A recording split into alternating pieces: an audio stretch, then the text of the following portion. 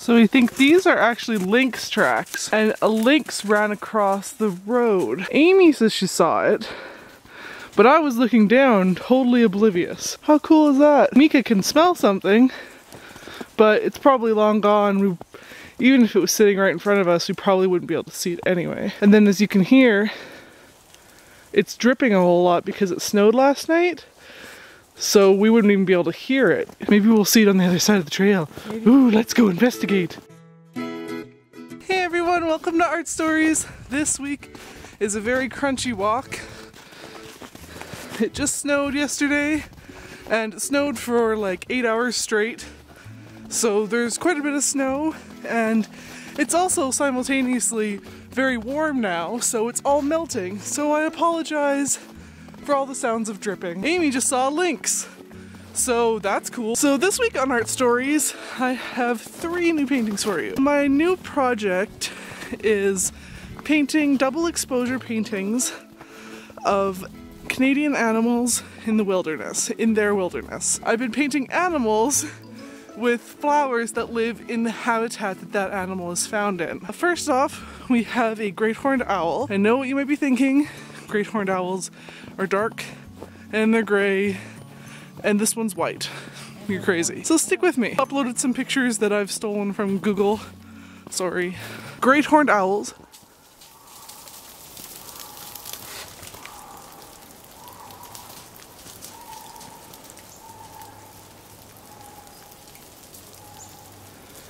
You know, I've heard that sound before.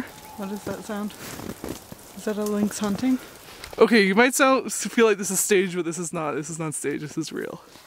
I don't know if you heard that sound, but I've heard that sound once before in my life.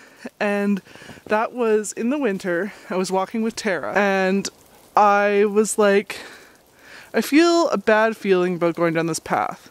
I think that we should take a different path. Let's go this way instead. So we did, and when we got to a place that was parallel to where the path would have ended up, then we heard this really crazy sound.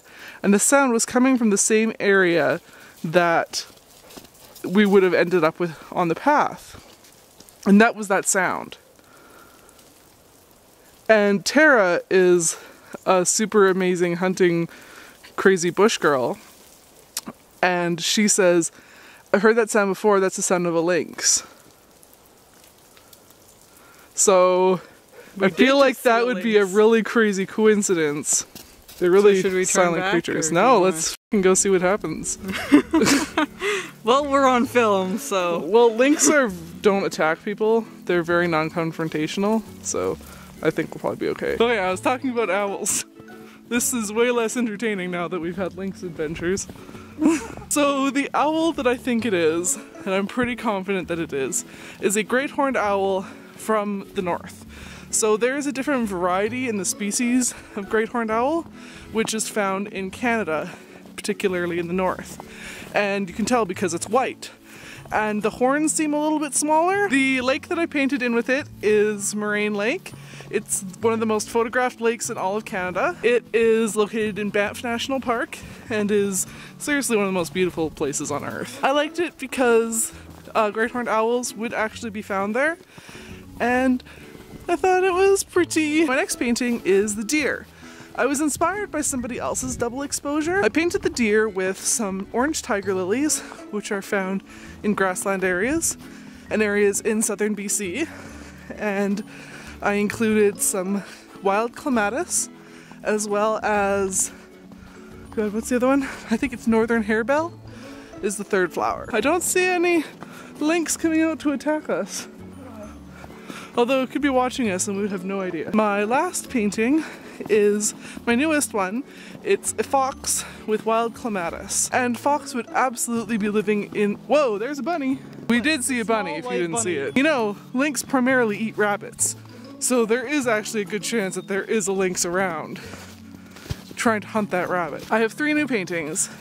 These new paintings are up for sale and for subscribers to my newsletter, you will be seeing them a week early and to everybody else, this will come out to you in March 7th, 8th. I hope that you enjoyed the video and It was very anticlimactic. We did not get attacked by any lynx on camera. I'm sorry, but oh god, what is that?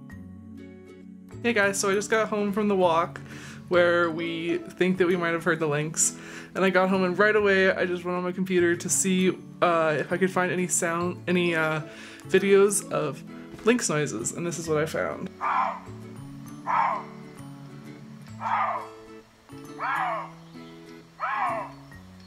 That is the sound. so we're pretty stoked that Aimy wasn't hallucinating. She actually saw lynx and we heard it. Ah! So now I know what I'm gonna paint. I'll see you next time, guys.